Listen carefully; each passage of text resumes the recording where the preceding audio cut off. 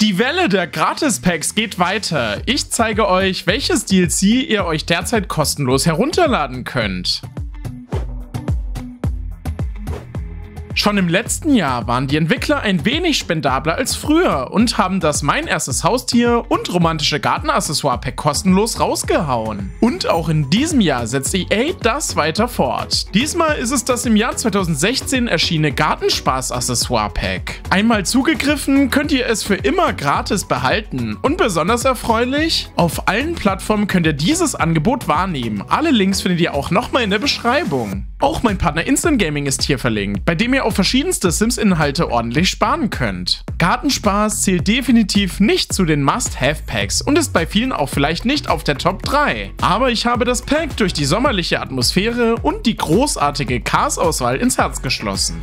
Trödelt am besten aber nicht zu lange, denn die Aktion läuft noch bis zum 13. April um 18 Uhr. Welches Pack sollte eurer Meinung nach als nächstes wegen der mangelnden Qualität oder Altersschwäche kostenlos gemacht werden? Also dann, bis zum nächsten Video.